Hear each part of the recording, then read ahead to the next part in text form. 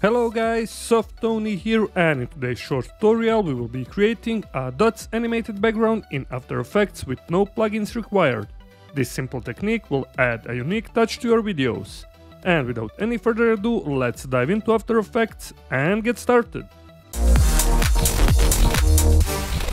Alright, we're here in After Effects and like always let's create new composition, hit on this little icon and this is gonna be final, 1920 by 1080, 30 fps, 10 seconds long. Now go right click to create new solid layer and this is gonna be BG4 background, 1920 by 1080, hit OK, go here in the effects and preset and let's type fill effect. Drag and drop onto the background, change color to white color Okay, and now go here again in the effects and preset and find ball action effect. Drag and drop onto the background and here let's change grid spacing to 15 and also change ball size to 15. Later on you can play around with two different parameters here and now go here again in the effects and preset and let's find fractal noise effect. Drag and drop also on the background and here let's change contrast to around 150 and brightness to minus 50. Okay, now let's also animate the evolution, set up the first keyframe here at 0 frames, go all the way to around 10 seconds, and let's type here 5.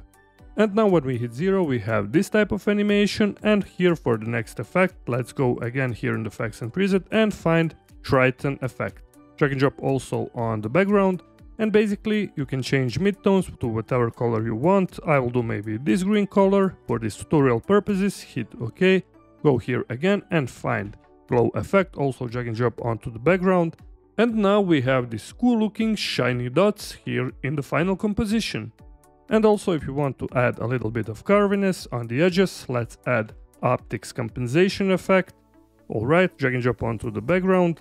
Select this option, reverse lens distortion, and for the point of view, you can play around, maybe to go to around 70. Now we have something like this and if you're not satisfied just turn it off. Okay, now let's add first adjustment layer, go right click, find here adjustment layer.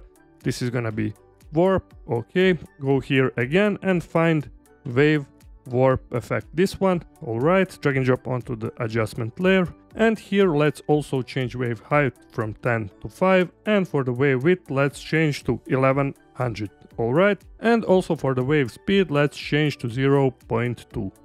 Alright, now hit 0 and now we also have this cool wavy animation of our dots background.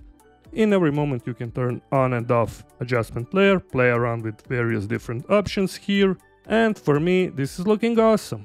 Alright guys, that was everything for today's tutorial, like always hit that like and subscribe button if you haven't already, take a look at my channel for your more great tutorials, and until next time, stay creative and bye bye!